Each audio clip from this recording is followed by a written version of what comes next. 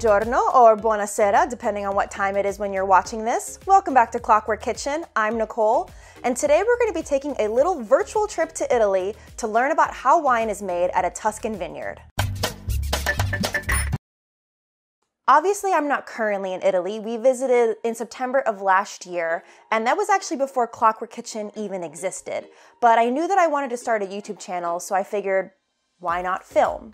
Part of our trip was spent on a road trip through Tuscany, and it was absolutely magical. I have been wanting to visit Tuscany for a while. I love wine, I love vineyards, I love just being around wine, and so it was such an awesome experience. And it was even more amazing that we ended up finding a vineyard that had a guest room where we could stay. And I lost my mind when I found this. Not to mention that they have some of the most drool worthy views that I have ever seen. I mean, come on. It also worked out, and we did not plan this, but we ended up being there during their harvest season. So the vineyard we stayed at is called Molino di Sant'Antimo, and they're a small family owned operation. And it was so cool seeing how they made their wine. And so I asked them, Can I film? And they said, Of course. So they let me walk around with my camera and film all these different parts of their process, ask them a bunch of questions, and really get an inside look at how they make their wine, which I've just never had the chance to do before. So I figured, why not share it with you guys? Before we get started, I just want to make sure that you're subscribed if you haven't already. It really helps to support my channel, and that way you never miss a video here on Clockwork Kitchen. All right, let's get this trip started.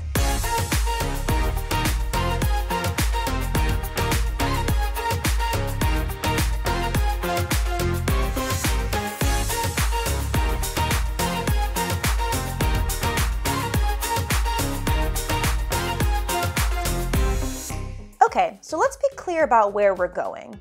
Tuscany is one of the main wine regions in Italy and probably the most well known wine region. And when you think of Tuscany, you might think of Chianti wine, which is definitely the most widely produced wine in that area. And it's definitely the most common Italian wine that I've seen offered in US restaurants and worldwide. Chianti is produced between Florence and Siena, so in the more northern area of Tuscany. But we actually decided to go a little bit further south into Tuscany to a small town called Montalcino. And Montalcino and the hills surrounding it are known for making Brunello. It's not the only region that produces Brunello, but Brunello di Montalcino is world renowned. I saw many blogs claiming that Brunello was easily the best wine in Italy. So, of course, that's where we decided to go. Both Chianti and Brunello are made from the Sangiovese grape. The what grape? Say it with me Sangiovese. Sangiovese. Chianti is generally pretty light, very drinkable, and you can't age it for very long. You really should drink that bottle within about two years of buying it. And Brunello is kind of like Chianti's bolder, more punchy cousin. It tends to be more medium or even full bodied. You can age it for so much longer than Chianti. And Brunello also has to be made from 100% Sangiovese grape. Now, every Brunello differs, of course, but in general, they tend to have bold, tart, earthy flavors like sour cherry, espresso, and blackberry. Think like a Cabernet Sauvignon, but drier. And because they have such punchy flavors, they pair best with hearty dishes things like red meat or red sauce or sharp cheeses like pecorino.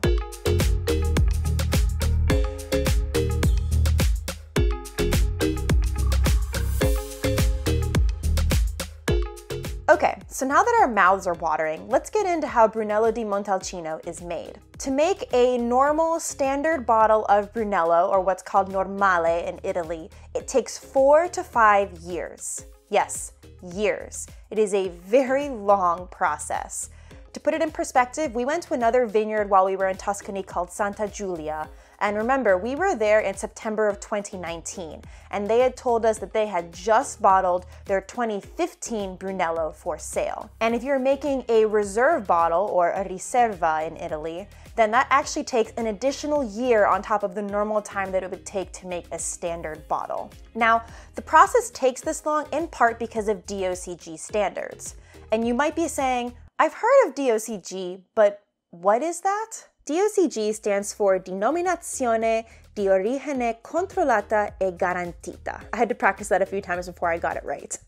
In English, it stands for the denomination of controlled and guaranteed origin. And it's essentially a mark that guarantees that Italian wines are being made in a certain way. So it's not that non DOCG wines are bad, it's just DOCG is certifying that, yeah, these guys are making that particular kind of wine the way that it's been done for centuries and in a standardized way. Fun fact when DOCG was established, it only picked five different categories of wine, and Brunello di Montalcino was one of them. Today, there are 73 different wines, so Brunello has a very long, deep, rich history of how it's been made, and Brunello di Montalcino winemakers really stick to this traditional way. Like with any wine, it all starts with the grapes. As I said, Brunello di Montalcino is made with 100% Sangiovese grape. And at the vineyard we stayed at, they grow their grapes organically, which just means that they don't use any kind of harmful pesticides on the actual fruit. Their Sangiovese grapes are picked by hand, although some vineyards can do it by machine, and then they're placed into this very large, basically glorified tractor, which is then brought up to the production room. The grapes are poured into this kind of pressing machine, and you can see that someone's always there to check to make sure that none of the grapes look super off. As the grapes go into this machine, the grapes are separated from those stems, and those stems are spit out at the end, and they use these for other purposes so nothing goes to waste and then the machine takes the leftover grapes and crushes them and moves that juice with their skin through these long tubes into these huge steel vats. And it's inside these vats that they're going to ferment for at least a few weeks, and those vats have very, very controlled oxygen and heat levels. Fermentation is the key step in making wine because it's when that grape juice turns into alcohol, and every vineyard will watch this step really, really closely. At least for this vineyard, during those few weeks of fermentation, they aerate that wine every single day. So this helps with the fermentation you can see here that they have wine pouring into this little tub at the bottom, and then there's another tube inside that wine that is funneling the wine back into the vat to create this kind of cycle or loop of wine. And that adds air into the wine to just help that fermentation process along. They also check the wine's temperature and density at least twice a day to make sure that everything is going smoothly. So you can see here they have this little thermometer measure that they stick into the wine to check the temperature. And then they take some of the wine and pour it into this tall tube thing. It looks like a total science experiment, which to be fair, winemaking is a kind of science. But they put it in this tall tube and then they stick the little measurer inside. And you can see from this first batch that it's really light in color and that little measurer really floats on top of the liquid. It doesn't sink down at all. So this just means that it's a really, really early batch. They probably only pressed that, you know, maybe up to like a week ago or something. Whereas you can see in this next barrel, the color is a lot richer and the measurer sinks down further into that liquid.